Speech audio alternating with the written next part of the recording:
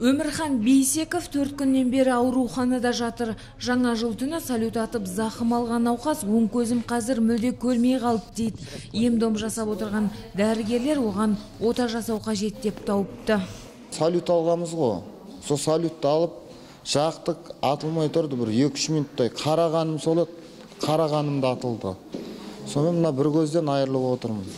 Соңғы үш төрт күн ішінде ауруханаға пиротехниканың кесірінен зақым алған алты науқас жеткізілген. Дәрігерлер әртүрлі дәрежеде күйік шалған олар сапасыз отшашуларды қолданған деп отыр.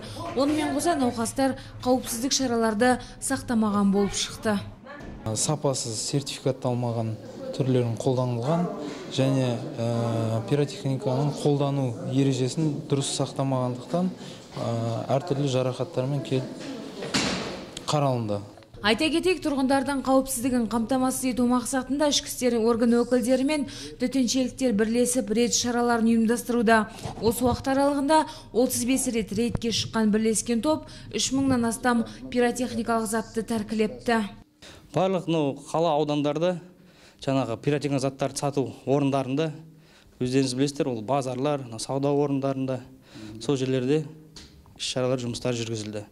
Арнайы рейдтер кезінде 20 әкімшілік іс қозғалған. Күшейтілген қауіпсіздік шаралары 5 ақпанға дейін жалғаспақ. Мақпал рысбаева камила сайфуллина отырар телеарнасының жаңалықтар қызметі.